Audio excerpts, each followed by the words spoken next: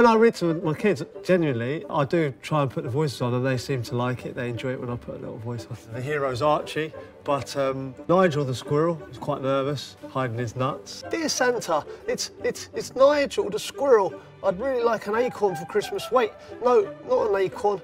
And then there was a badger. I went for a little bit more cockney on the badger's uh, voice. I'm a badger. He's my favourite character, yeah. Those crows just pecked holes in me vegetables. And without me vegetables, I won't make it through the winter. I enjoyed doing the voices and hopefully I've done them justice. For the course of my whole football career, I've been playing 20 years since I was 16. Every day, I've never really had a Christmas. Gen genuinely, um, Christmas is our busiest time. We train on Christmas Day, play Boxing Day.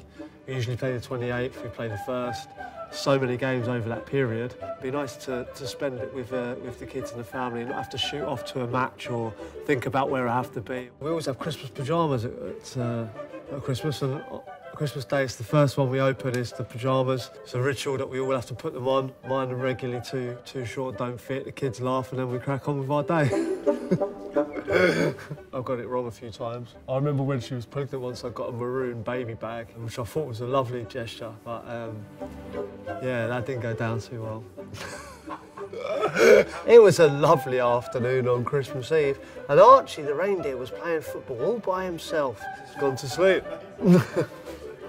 Remember, I used to play for England, Willow.